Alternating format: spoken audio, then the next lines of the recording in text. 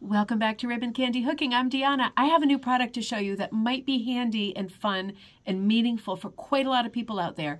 Do you have someone in your life, particularly a little person, who does a lot of drawing and illustrating and you would like to turn those drawings into rug hooking designs?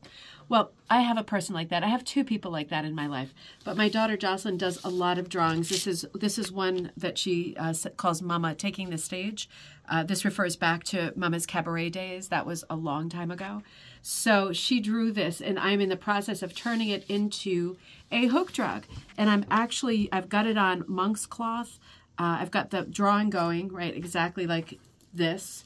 Uh, this is for people who have a drawing and they just want to email it to me. Let me deal with the transfer onto the backing and either you get the pattern or you get the kit. It's up to you.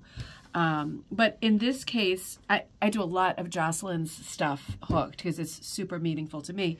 But in this case, I'm actually using her old dirty clothing, which is perfect. This is two pairs of jeans. It looks the same, but they're two different printed stretch denims that she had.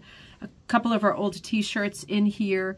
So this is clothing that she's had, and I'm, this is a work in progress, but it's a lot of fun. And it occurred to me that a lot of people don't want to deal with the transfer part, the getting the backing fabric, the kitting part. So if you want to leave that part to me, I would be very happy to turn around your special piece of artwork and give you back either a pattern on your uh, choice of backing or the entire kit. So have a look at the product, see if it's something that you can use, see if it's something that you could make into a special framed piece or pillow or, or rug or wall hanging, whatever you think.